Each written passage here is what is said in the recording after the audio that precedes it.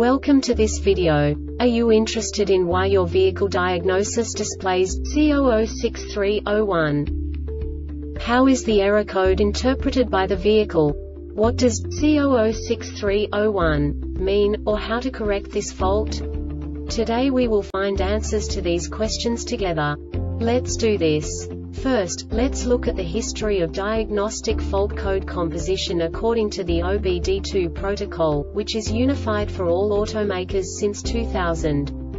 We divide the electric system of automobile into the four basic units. Powertrain, body, chassis, network. This distribution is defined in the first character code. If the second character is expressed as zero, it is a standardized error. In the case of numbers 1, 2, 3 it is a more prestigious expression of the car-specific error. The third character specifies a subset of errors. The distribution shown is valid only for the standardized DTC code. Only the last two characters define the specific fault of the group.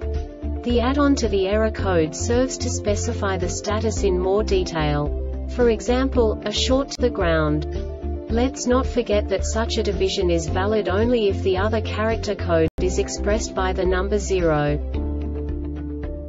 Our website airbagreset.sk produces useful videos for you. You do not have to go through the OBD2 protocol anymore to know how to troubleshoot any car breakdown. You will find all the diagnostic codes that can be diagnosed in a Alfa Romeo vehicles. Also many other useful things. The following demonstration will help you look into the world of software for car control units. You unbelievably can move the video a bit further. The error code is split into two bytes consisting of 16 bits. One bit is the basic unit that each computer works with. The bit has two logical states. 0, low level, 1, high level. By combining the first two bits, the basic character of the error code is expressed. The next two bits again determine the second character. The last beat styles of the first byte define the third character of the code. The second byte is composed of a combination of 8 bits. The first 4 bits determine the fourth character of the code. And the combination of the last 4 bits defines the fifth character. A single byte conceals 256 possible combinations.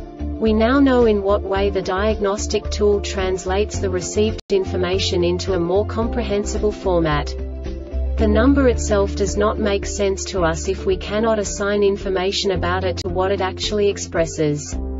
So, what does the diagnostic trouble code C006301 interpret specifically Alfa Romeo car manufacturers?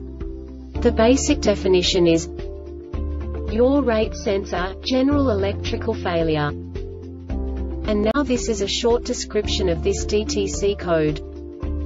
Anti-lock brake system ABS module detects that one of the dynamic sensors offset levels are above threshold limits. This diagnostic error occurs most often in these cases.